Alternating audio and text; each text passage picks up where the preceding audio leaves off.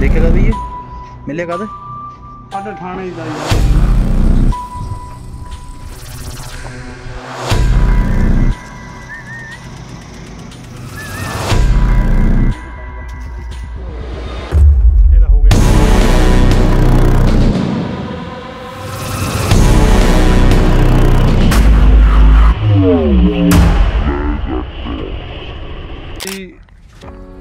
ਮੈਨੂੰ ਬੰਦਾ ਮਿਲਿਆ ਕਹਿੰਦਾ ਲੱਲੜੀ ਲੈ ਜਾ ਇਹਨੂੰ ਭਾਜੀ ਜਿਹੜਾ ਨਵੇਂ ਡਾਕਟਰ।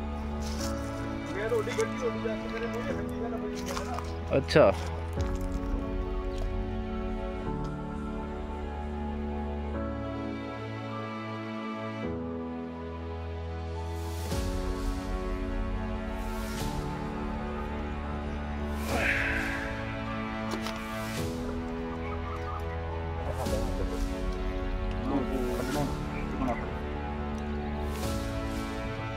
ਸਾਰੇ ਬਈ ਕੁਰੀਏ ਦੀ ਬਾਣੀ ਹਲਕੀ ਬਾਈ ਲੋ ਯਾਰ ਸਾਰੇ। ਇਹ ਤਾਂ ਹੋ ਗਿਆ ਕੰਮ ਜਿਆ ਬੜੀ ਤੇ ਇਹਦਾ। ਪਾਇਆ ਨਹੀਂ ਕੁਝ ਉਹ ਨਿਕਲਣਾ ਪੈਣਾ ਇਹਦਾ। ਕਿਹੜੇ ਦੇ ਆ? ਵੇਰ ਕੱਟ ਲੱਗਿਆ ਵੇਰ ਥੋੜਾ ਥੋੜਾ ਵੇਰ ਕਰ ਜੋੜ।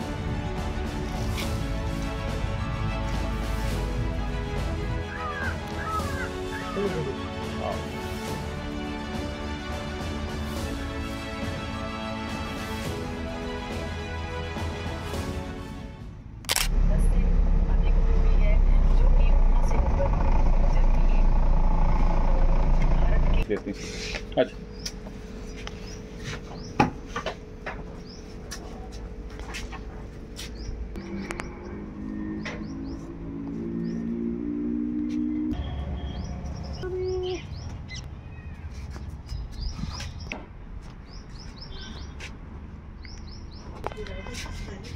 ਡਾਕਟਰ ਸਾਹਿਬ ਉਹ ਡਾਕਟਰ ਦੀ ਲੋੜ ਹੈ ਭਾਈ। ਪੈਰ ਦੀ ਤਰੇ ਲੱਤ ਟੁੱਟ ਗਈ ਨਹੀਂ ਦੀ ਟੁੱਟੀ। ਦੇਖੇਗਾ ਵੀ ਇਹ? ਮਿਲੇਗਾ ਤੇ ਸਾਡੇ ਥਾਣੇ ਦਾ ਯਾਰ ਇਹ ਨਾ। ਅੱਛਾ ਜੀ। ਦੋ ਤਿੰਨ ਦਿਨ ਹੋ ਗਏ ਮੈਨੂੰ ਤਾਂ ਟੁੱਟੀ ਨੂੰ ਮੈਨੂੰ ਮੈਨੂੰ ਕੱਲ ਮਿਲਿਆ ਇਹ। ਅੱਛਾ। ਤੇ ਆਓ ਦਰਬਾਰ ਭੇਜਿਆ ਜੀ ਦੂਜਾ ਪਿੰਜਰਾ ਲਿਆਓ ਇਹ ਕਬੂਤਰ ਵਾਲਾ। ਉਹ ਇਕੱਠਾ ਕਰਕੇ ਦੂਆ ਪਿਜਰਾ। ਇਹ ਐਵੇਂ ਉਹ ਜੋ ਦੇ ਪੱਟੀ ਕੀਤੀ ਹੋਈ ਥੋੜੀ ਜੀ ਇਹ ਇਹ ਲਫਾਫਾ ਪਾੜ ਕੇ ਬੰਨਿਆ ਸਹੀ ਵਾ ਅੱਛਾ ਜੀ। ਉਹਦਾ ਹੁਣ ਠੀਕ ਹੈ ਖੂਨ ਖਾਨ ਬੰਦ ਹੋ ਗਿਆ ਵੀ ਤਾਂ। ਹੂੰ। ਉੜਦਾ ਤਾਂ ਨਹੀਂ ਹੈ। ਉੜਦਾ ਕਿੱਥੇ? ਇਹਨੂੰ ਕੁਝ ਖਾਦਾ ਵੀ ਨਹੀਂ ਮੈਨੂੰ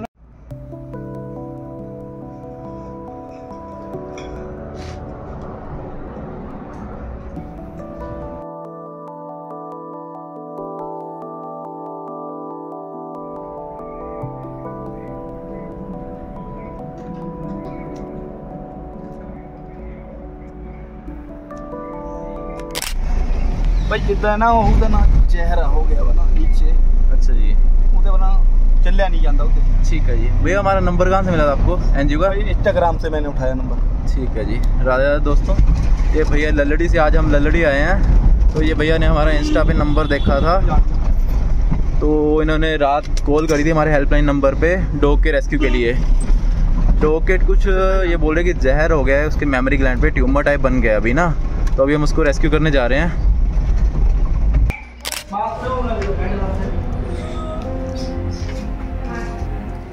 나이 어기야 어기야 오늘 어기야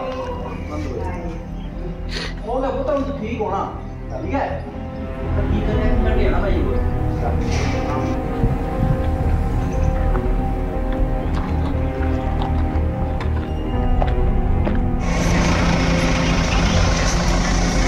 래 작가. 快点